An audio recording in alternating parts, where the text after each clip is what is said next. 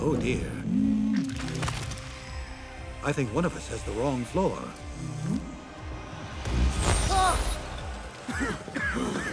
Cyclops, it's like the worst horror movie ever. The whole mansion's possessed.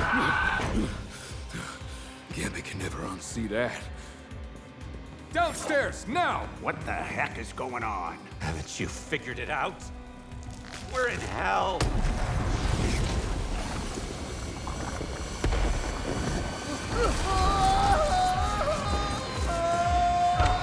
While I share Sinister's apparent affection for Dante's Inferno, I must ask how he's exerting this much power over our perceptions of reality.